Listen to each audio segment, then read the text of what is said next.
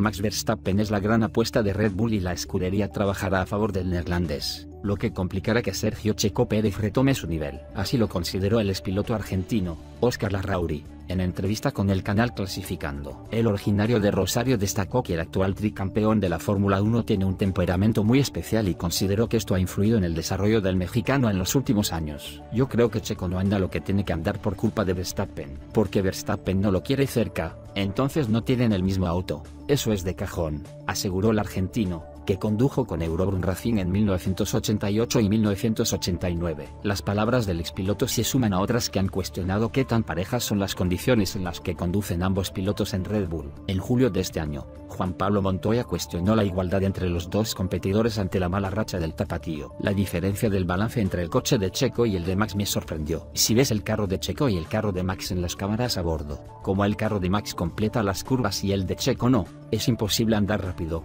señaló en su momento el colombiano. Esta opinión coincide con la de la Rauri, quien por otra parte consideró que el equipo de Milton Keynes ha consentido mucho a Verstappen. Entonces estaba continuamente peleando con su compañero de equipo o quitándole cosas para que no ande su compañero. Porque Checo Pérez cuando empezó tenía resto, estaban peleando mano a mano. De un momento a otro empezó a no andar, a no andar, a no andar. En las últimas carreras le dieron un poco más, para ver si lo puede ayudar a Verstappen, finalizó el argentino.